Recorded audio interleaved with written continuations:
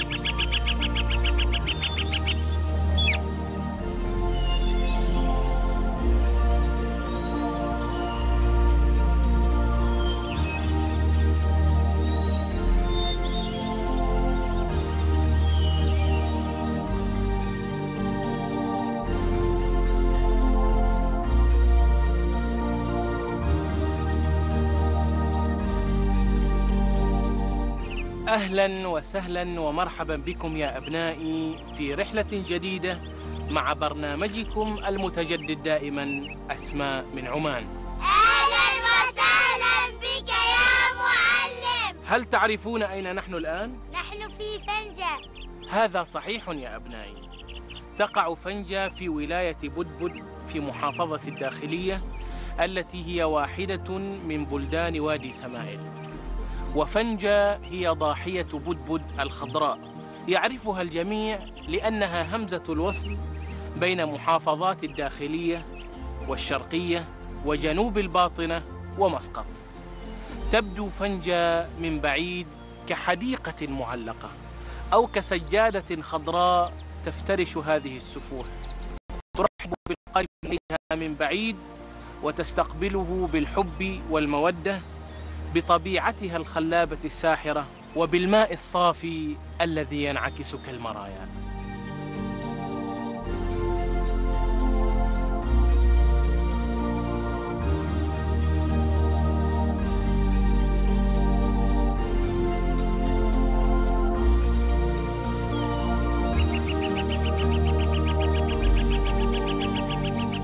تعتبر فنجاء يا أبنائي إحدى المدن التاريخية القديمة وهي بوابة محافظة الداخلية للقادمين إليها من مسقط. وفنجاء كما تلاحظون تتمتع بمقومات سياحية فريدة أبرزها هذه الجبال الشامخة التي تحيط بها من كل حدب وصوب كما يتميز واديها وادي فنجا بأنه ملتقى لمجموعة كبيرة من الأودية القادمة إليه من محافظة الداخلية كوادي سمائل ووادي المنصح ووادي الجيلة ووادي السيجاني ووادي الضبعون وغيرها إضافة إلى الأودية والشعاب التي تخرج من فنجا واجتماع هذه الأودية جميعا في هذا الوادي الجميل جعله غزير الجريان وجعل ماءه مستمرا لعدة أشهر طوال العام. الأمر الذي كون صورة ساحرة خلابة تأخذ بلب المسافر والمقيم. وفي هذه المدينة الجميلة يا أبنائي مدينة فنجا توجد أيضا مجموعة من الأفلاج. أبرزها حمامات الجانب الشرقي والغربي التي تتميز بسخونة مياهها وباستخدامها للعلاج من بعض الأمراض الجلدية. في فنجا أيضا صناعات تقليدية نادرة تسهم في تدعيم الجانب السياحي لهذه المدينة.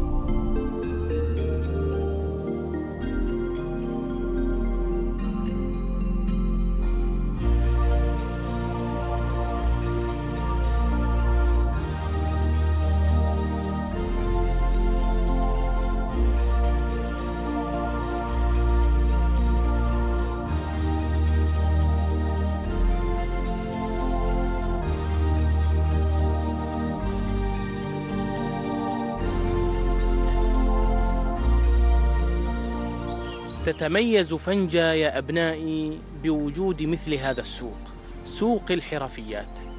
وتعتبر هذه السوق من الوسائل الرئيسية التي يقوم أبناء فنجا من خلالها بالحفاظ على موروثات أجدادهم وآبائهم وحرفهم من الضياع.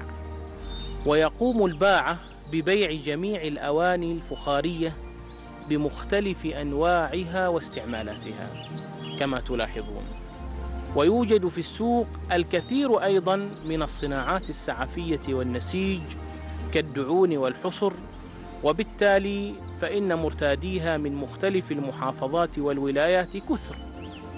وذلك لندرة ما يتم عرضه وعلاقته بالتراث القديم.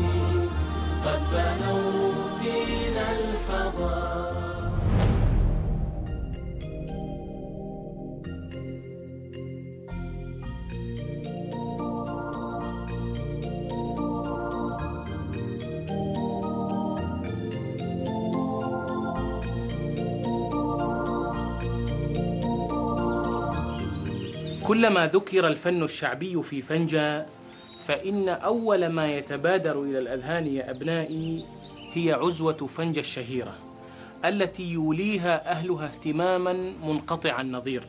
ولذا فالعيد في فنجا يختلف عنه في باقي المحافظات من حيث الأعراف التي تصاحب هذه العزوة كالفنون الشعبية ومنها الميدان والرزح وغيرها وكذلك المسابقات المختلفة كمسابقات الرماية وأيضا إطلاق مدافع فنجاء القديمة التي تسعد كثيرا من الحضور وتبهج الزائرين.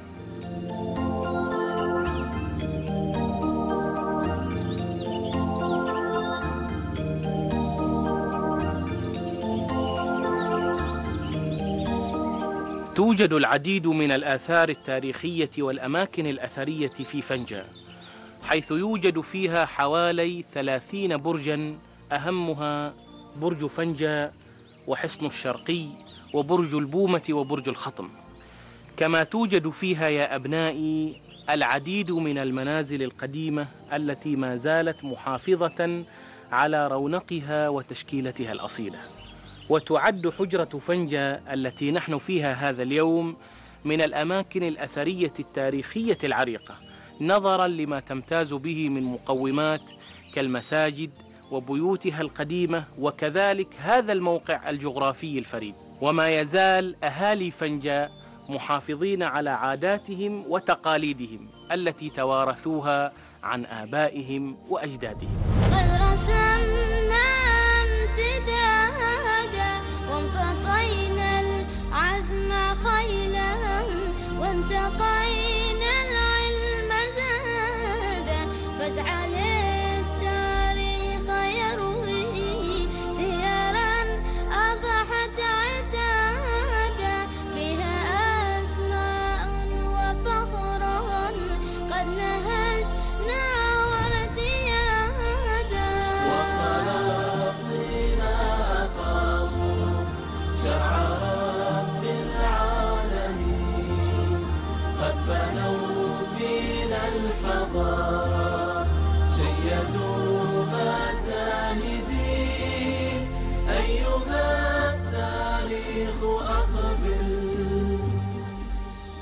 الذي يميز هذه الحارة يا معلم؟ تم اختيار حارة الحجرة يا أبنائي لأعمال التوثيق من قبل وزارة التراث والثقافة بالتعاون مع جامعة نوتنغهام ترنت البريطانية. لعدة أسباب. منها الموقع الفريد الخلاب لهذه الحجرة التي تشرف على بساتين النخيل في واحة فنجان. وهذا الموقع يمكن أن يوفر على نحو فعال صورة رمزية لهذه المنطقة.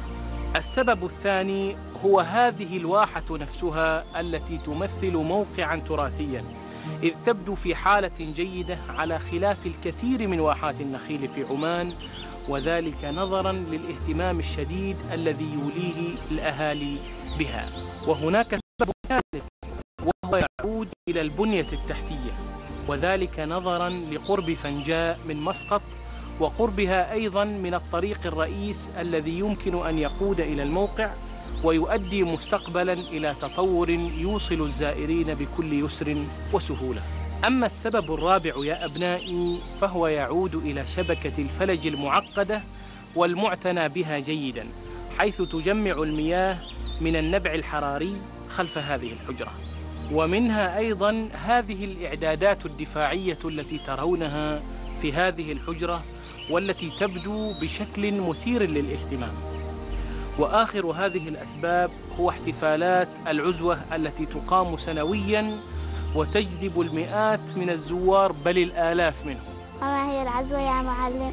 إنها احتفالات موسمية يا أبنائي تقام في وقت الأعياد وهي عبارة عن اجتماع كبير لمجموعة من الرجال والأطفال يأتون من فنجا ومن القرى المجاورة لها وضمن إطار هذه المستوطنة.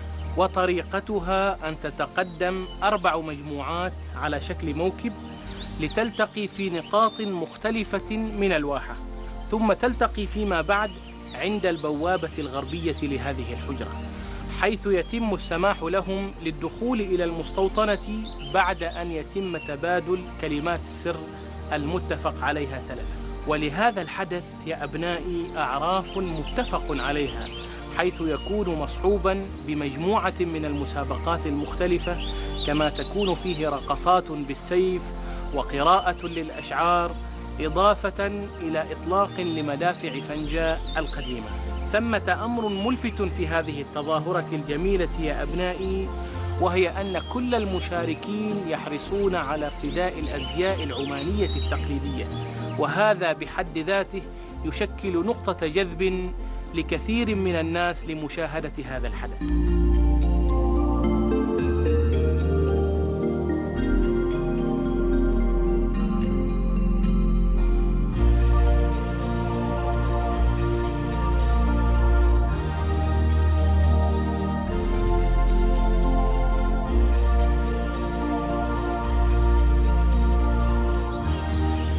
أحد العناصر الرئيسية يا أبنائي في تكوين فنجاء الدفاعي هي هذه الأبراج التي تلاحظونها منتشرة في النقاط والحواف العالية لهضبة الحجرة.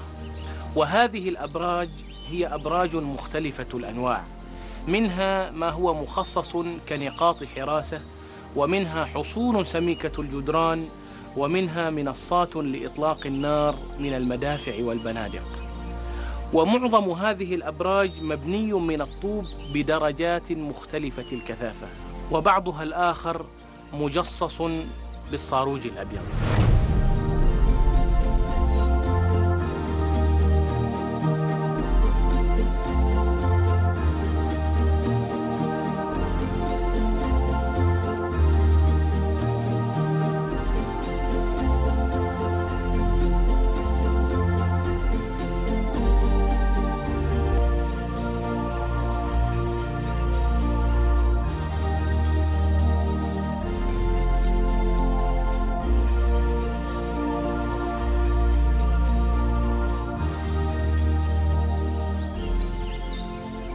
أسماؤنا العمانية كثيرة يا أبنائي وهي تصعب على الحصر سواء المرتبط منها بالإنسان أو المكان. وفي كل الأحوال فإن في هذا دلالة عظيمة على عراقة هذا الشعب وعظمة هذه الأرض. لقد كانت رحلة رائعة وتعرفنا على اسم جديد من أسماء عمان. قد بنوا فينا الحضارة شيدوها زاهدين أيها التاريخ أقبل. أيها أقبل. واحكي عن أرض مسوق